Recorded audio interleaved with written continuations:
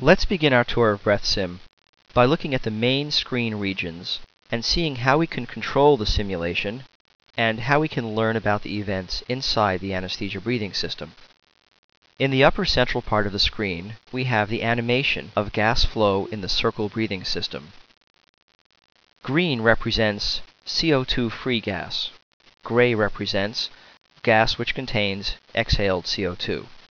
Notice that the inspiratory valve and the expiratory valve move during inspiration and expiration respectively.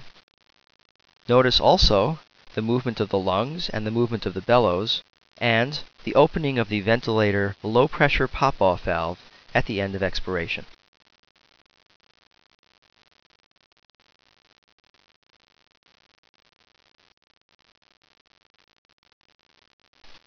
In the upper right portion of the screen, we have the ventilation control panel.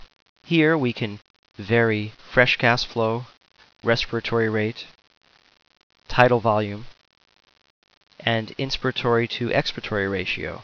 We can also generate an expiratory pause or an inspiratory hold. The default ventilator that BreathSim uses is a constant inspiratory flow design. This is typical of most anesthesia ventilators. However, if we want to, we can change the inspiratory flow pattern to a decreasing or tapered flow, a sinusoidal pattern, or change ventilatory modes completely by switching to pressure mode. We can also emulate the volume compensation capability of the Ohmeda 7900 ventilator. The upper left portion of the screen allows us to change certain patient characteristics such as lung compliance and airway resistance. Lung compliance can be set through a range of low, normal, and high, and airway resistance is represented by varying sizes of tracheal tubes as well as by kinked tracheal tubes.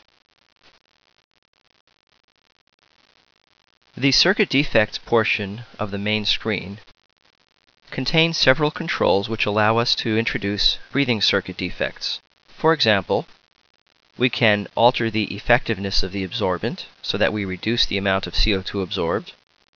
We can produce an incompetence of the inspiratory valve or an incompetence of the expiratory valve. We can generate a leak around the tracheal tube cuff or produce leaks in the inspiratory limb or the expiratory limb of the breathing system. These three waveform windows show us the capnogram, airway pressure waveform, and airway flow waveform. The scale for capnogram is in percent CO2. For pressure, it is in centimeters of water, and for flow, we have liters per minute. Notice on the flow waveform that there's a horizontal line in black, which is zero flow. Any flow that's drawn above the zero line is positive flow and represents expiratory flow flow out of the patient. So this is the expiratory flow portion of the flow waveform. Inspiratory flow is depicted as flow below the horizontal zero line. And notice here that the inspiratory flow is continuous or constant and flat. The inspiratory flow profile is generated by the ventilator setting. The expiratory flow profile is a function of lung compliance, airway pressure, and airway resistance.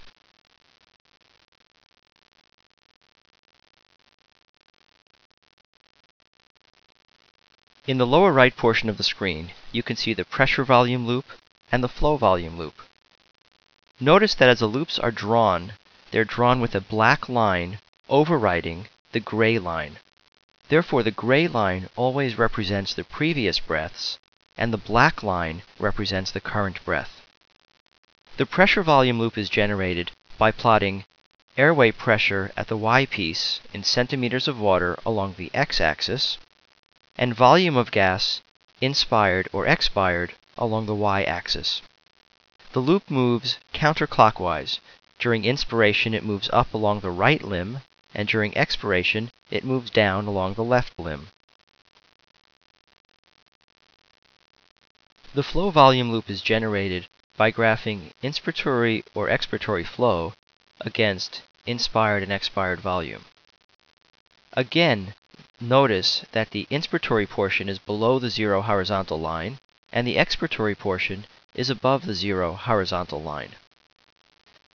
As in the case before, inspired flow is constant due to the setting of the ventilator. Expired flow varies throughout expiration. Initially, we have a high expiratory flow, otherwise known as peak expiratory flow, and it gradually tapers off during expiration. The flow volume loop should be a closed loop. It should return to this point on the right at the end of every breath.